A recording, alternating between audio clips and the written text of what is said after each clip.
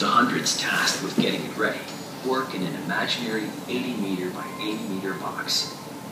The A380 itself takes up most of the space, along with the three jetways required to get the passengers on board the double decker in 30 minutes.